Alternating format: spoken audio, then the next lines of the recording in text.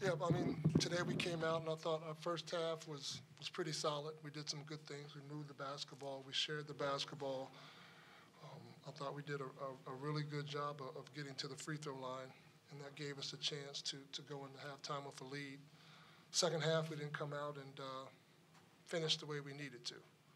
Um, So, you know, you have to credit Rutgers, they're a gritty team. They came out, they made plays, they made some shots in the second half. We weren't able to provide enough resistance to slow them down to give ourselves a chance to, to win a ball game that, um, you know, we played well enough in the first half to give ourselves a chance to win. We didn't finish it the way we needed to.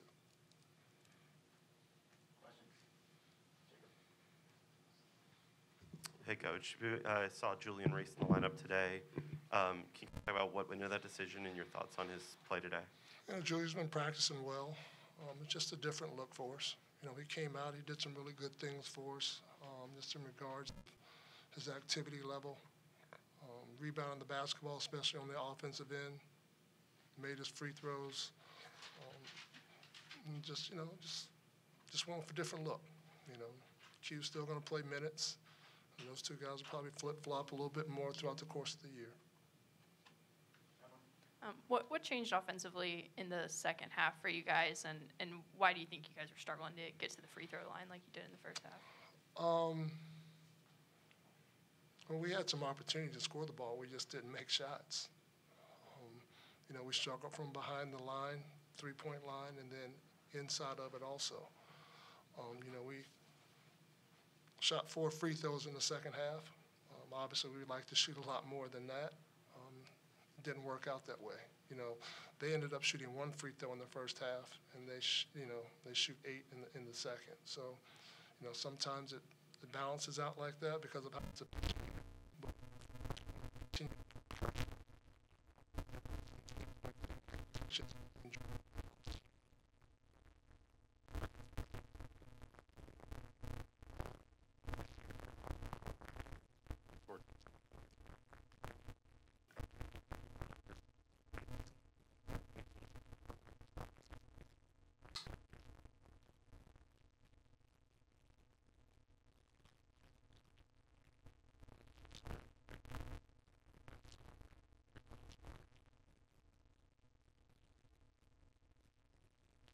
to the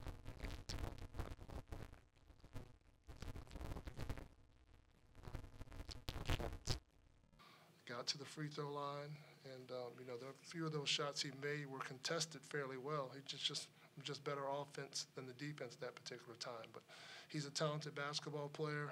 He scores inside and out, like Hakim said, scores on three levels, and um, he got it going today, and we couldn't slow him down.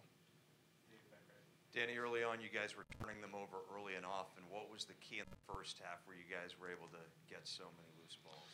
I thought we had really good active hands defensively, created some deflection, gave us a chance to get out in transition.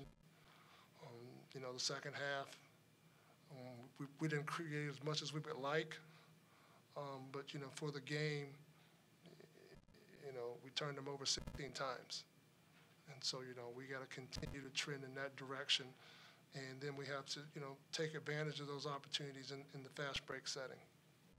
They did a better job of handling our pressure in the second half. And coach, you talk a lot about kind of getting into the bonus and the bonus early and often when it comes to these games, and you definitely did that today. What went into that, and what factors do you think contributed to that early on here? Well, we want to we want to get paint touches. Well, we want to have more paint touches, obviously, than our opponents because we feel like that gives us a chance to break the defense down, get in the paint, play off of two feet, kick it out to wide open shooters or draw fouls. For us, that's part of our formula to score the basketball. Um, you know, we're one of the, the better in the country at getting to the free throw line and making them when we get there. So, you know, that's been something that's given us a chance to be successful as a team, and that's just part of who we need to be um, with our offensive scheme of things. Hey, Eric, uh, this one's for you back here. I don't know if you can see and hear me back here. Um, you know, obviously, not the way you guys wanted this game to go after the way you played in the first half, but, but as a leader of this team, what, what do you kind of say to the younger guys? What do you kind of say to this group to kind of rally everyone going forward and try to bounce back and turn things around here? Um, kind of just, you know, I talked to a couple guys. Just take the time. Uh, we got a, lo- a long afternoon today, and um, just go back and watch that second half. Um, I feel like we, you know, we did a great job, you know, guarding the ball in the first half, and you know, we got some easy transition. Um, myself included, you know, I feel like as players we should watch that second half, and um, you know, the coach is gonna have film ready for us, you know, when we come back from practice, but. Um, you know, we should watch our own mistakes and, you know, see what we can be better at and where, where things took a turn. Eric, you- you guys had a pretty significant halftime lead, which is something you guys hadn't had, other than the execution stuff we've been talking about. Um, is there anything different you would have liked to see in the, with the way you approach the second half from a mentality mindset standpoint, or do you think it's all just kind of the execution side? Um, definitely execution, uh, and just being able to adapt throughout the game. Um, you know, they kind of made, you know, certain runs throughout the game and, um, you know, they made, they got good stops on us defensively. So, uh, as a team, we got to adapt better, I feel like.